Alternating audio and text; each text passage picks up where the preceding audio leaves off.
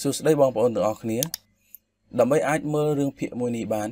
សូមបងប្អូនចុចនៅលើពាក្យ show more ដែលមាននៅក្នុងប្រអប់ description បន្ទាប់មកទៀតសូមចុចនៅលើ link website ដោយដែលបានបង្ហាញនេះហើយសូមបងប្អូនរងចាំដល់ website ដំណើរការបាន100%ជាការស្រេចសួស្តីបងប្អូនទាំងអស់គ្នាដើម្បីអាចមើលរឿងភាគមួយនេះបានសូមបងប្អូនចុចនៅលើពាក្យ show more ដែលមាននៅក្នុងប្រអប់ description បន្ទាប់មកទៀត សូមចុចនៅលើ link website ដោយដែលបានបង្ហាញនេះហើយសូមបងប្អូនរងចាំដល់ website ដំណើរការបាន100%ជាការស្រេចសូមអរគុណ